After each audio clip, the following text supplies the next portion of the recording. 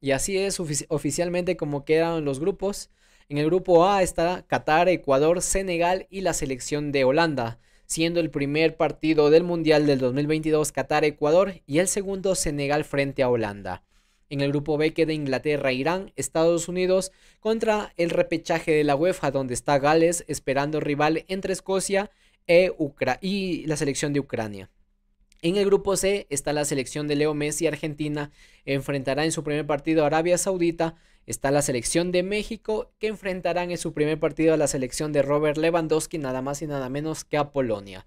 En el grupo D está la selección de Francia con Mbappé, el vigente campeón del mundo, enfrentará en su primer partido al repechaje de Conmebol, que de sí, de Conmebol, que es la selección de Perú o los Emiratos Árabes frente a Australia, me parece que es.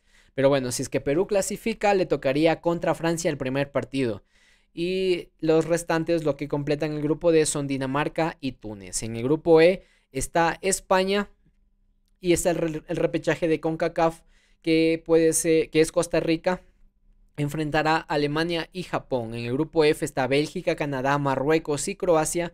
En el grupo G, Brasil, Serbia, Suiza y Camerún un grupo accesible para Brasil por ahí. Sí están complicados, pero para Brasil mm, lo veo bastante asequible.